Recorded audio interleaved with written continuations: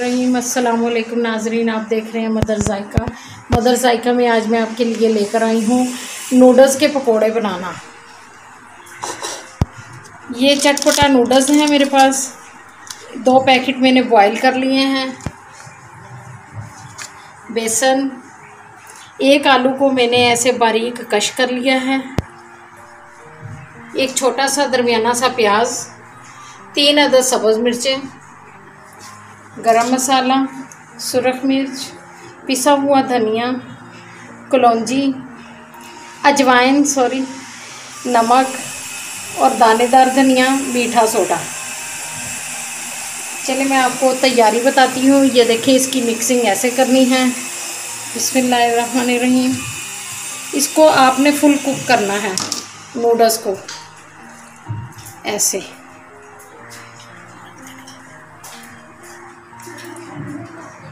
अब इसमें जो मैंने कश करके आलू रखा हुआ था, वो डालने लगी हूँ।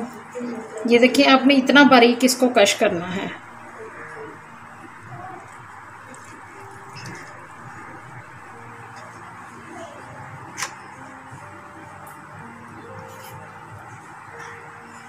ये प्याज है, एक दरमियाना सा।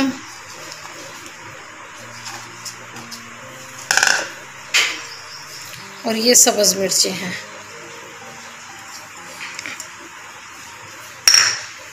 और ये सारे मसाले जो हैं वो मैं मिक्स ऐसे करके इस पर डाल दूँगी।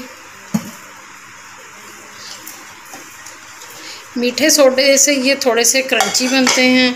अब इन्हें मैं मिक्स कर लूँगी। बिस्मिल्लाहिर्रहमानिर्रहीम।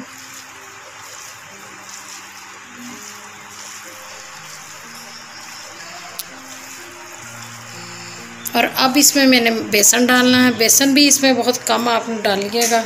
तकरीबन ये चार से पाँच चम्मच इसमें बेसन जाएगा। और पानी नहीं इसमें डालना है आपने। ऐसे इसको मिक्स करना है। और फिर इसको पाँच मिनट के लिए आपने छोड़ देना है। फिर इसको मिक्स करके फिर फ्राई करना है।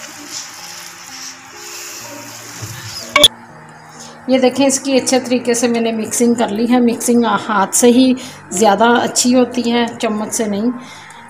रमज़ान है, माशाल्लाह आज से छवा रोज़ा है और मैं चाहती हूँ कि मुनफरद से कोई पकोड़े बनाऊँ जो आप लोगों को भी अच्छे लगें और बच्चों को भी अच्छे लगें। अक्सर बच्चे मैगी पसंद करते हैं। बिसमीम ये देखें, ये मैं आपको पकोड़े बनाकर दिखा रही हूँ। जब आपने पकोड़ा बनाना है, अमेज़े को ऐसे हाथ पर उठाएँ और ये अंगूठे की मदद से पकोड़े बनते हैं। ये देखें।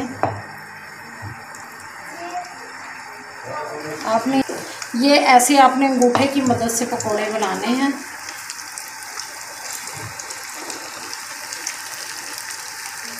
हमेशा आप हाथ पर उठाते जाएँ और ऐसे उसको कहीं कहीं पे डालते रहें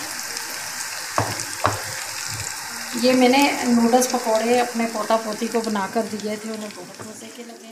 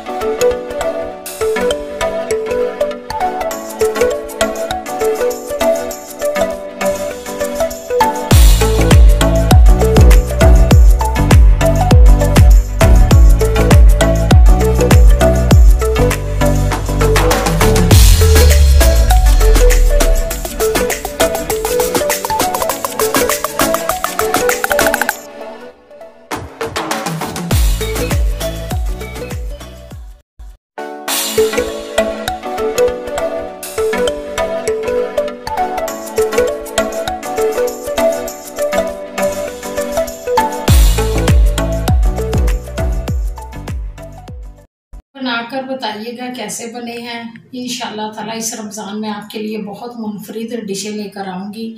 ये बनाकर देखिएगा, बहुत टेस्टी बने हैं। तो रमज़ान में दुआओं में याद रखिएगा, लाइक, शेयर, सब्सक्राइब ज़रूर कीजिएगा। अल्लाह हाफिज़।